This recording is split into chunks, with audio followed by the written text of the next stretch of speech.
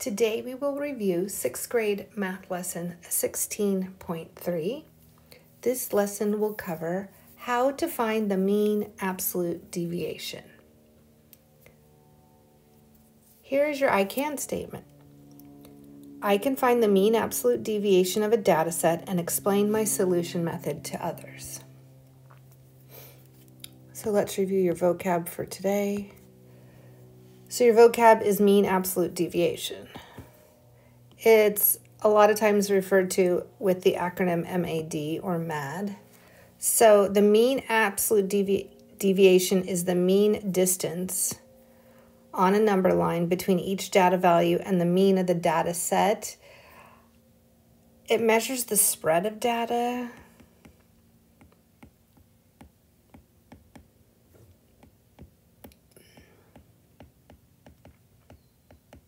or the variability. It also is, can look at it as the average of how much the individual scores of data differ from the mean of the entire data set. This will make more sense as we go along. This type of data um, is something that you really need to do. It's very detailed. There's a lot of little math in it, so just hang in there and try to be as accurate as you can. Um, if you want examples of this, please go to homework on page 507 for examples similar to this. Um, I encourage you to stop this video at any time and work out these problems first on your own. And now I'm going to do some examples for you. So Mason counted the number of eggs and nests of two birds of the same specimen over 10 breeding cycles. Find the mean absolute deviation of the two sets of data. So if you can see here, there's bird A and bird B. And he collected data over 10 breeding cycles of the number of eggs they laid. So that's what's going on. And that's the kind of data that we're going to be looking at today. Um, this explains the step-by-step -step process, which is helpful. Okay, so it says find the mean of each data set. So remember when we're finding the mean, that's the average. So you're going to take the sum of the data values. We have to add them all together and divide it by the number of values in data set. So that's what they did here, where they did 29 divided by 10. If they added all these numbers up here for bird A, you would get 29, and then there's 10 numbers, so you divide it by 10 and you get 2.9. So 2.9 is your mean for the first bird. Then bird B, they do the same thing and they've added up these values here. And they get 28 over 10. So the mean of this second one is 2.8.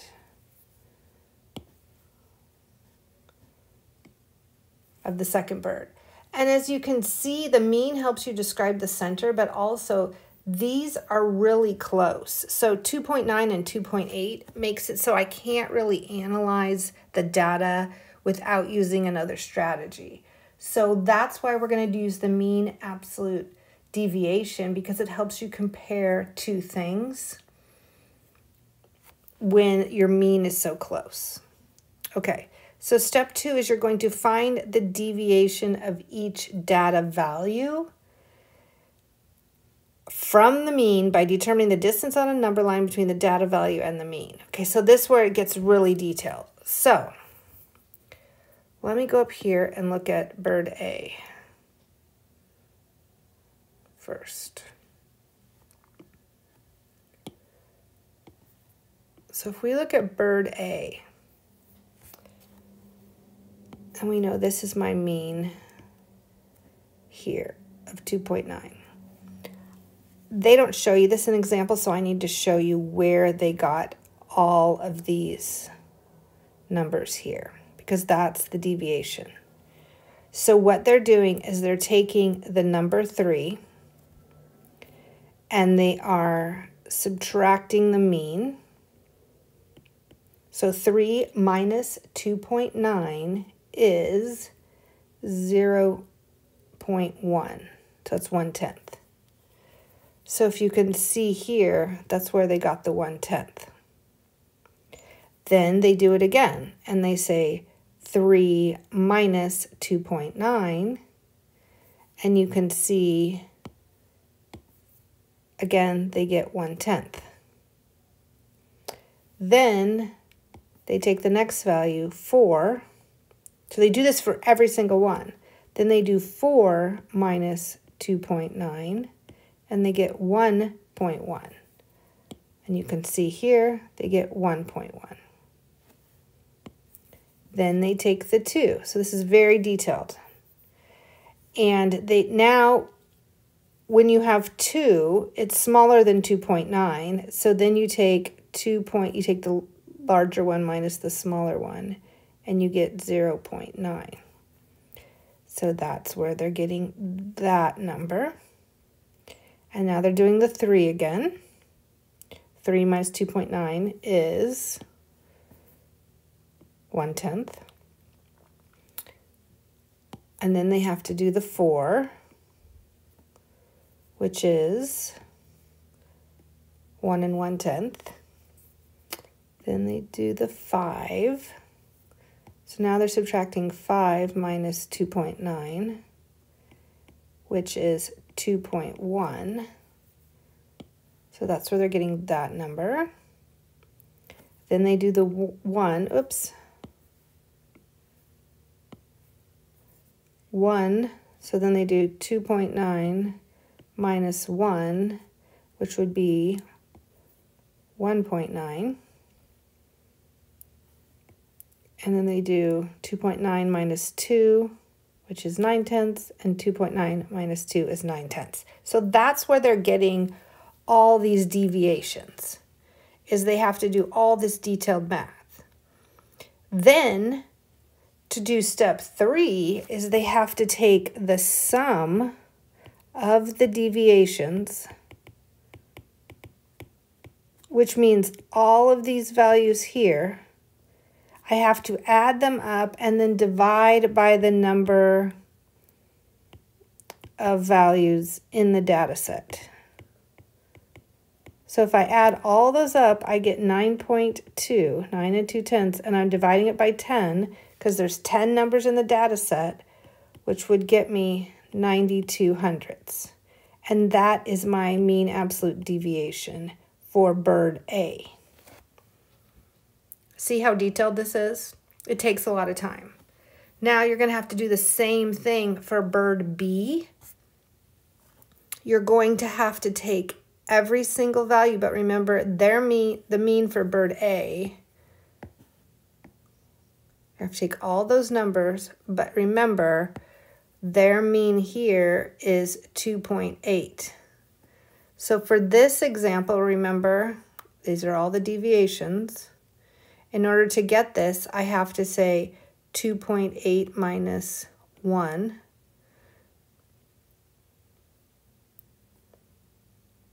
Which is 1.8. That's where they get the first one. That's where they get the second one. You have to do every one, and then 3 minus 2.8 is 0 0.2. So again, you're going to have to do that whole set. Then you're going to have to take the sum of all the deviations, when we take the sum of the deviations, you get 14 divided by 10, which is 1 and 4 tenths. That's your mean absolute deviation for bird 2.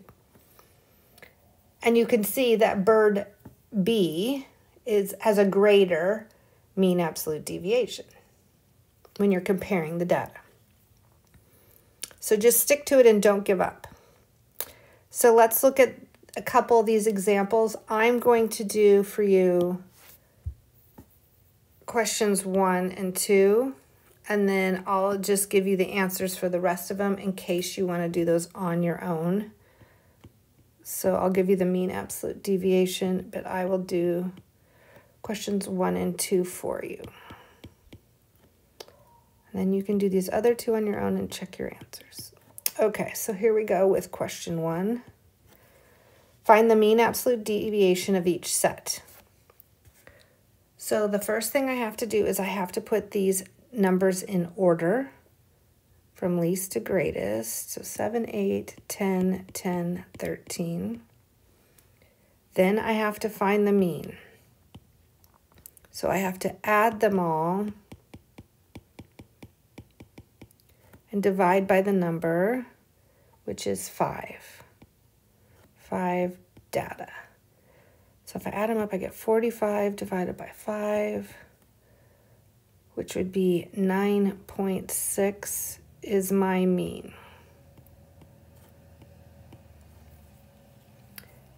Okay, now I need to do the deviation. Okay, so I need to find the deviation. So I need to take the mean. So the first one I have is 9.6 minus 7. 9.6 minus 8, and then 10 minus 9 point, oops, let's subtract 9.6, and then 13 minus 9.6. So if I have, I got 2.6, 1.6, 0 0.4, and 3.4. And then I also make sure I need, I had two tens, so I need to put 0 0.4 here as well. I need to add those up and I get 8.4. So now I need to do 8.4, which is the sum of the deviations divided by 5, because I had 5 numbers in my data set. And I would get 1.68 is my mean absolute deviation. Okay, let's try one for question 2. Okay, I need to go ahead and put these numbers in order. So 110 plus 106 Oh, sorry, I need to put them in order. I'll just write them down. Okay. 104 plus 106 plus 108 plus 110 plus 114 and I have 5. So if I add those all up, I get 542 divided by 5 if I divide that, I get 108.4 is my mean. Now I need to find the deviation for each of them. So I need to do 108.4 minus 104, 108.4 minus 106, 108.4 minus 108, and then 110 minus 108.4, and 114 minus 108.4. Then I need to add them up. Okay, so I get 4.4, 2.4, 4 tenths, 1 and 6 tenths, and 5 and 6 tenths, and I get 14.4.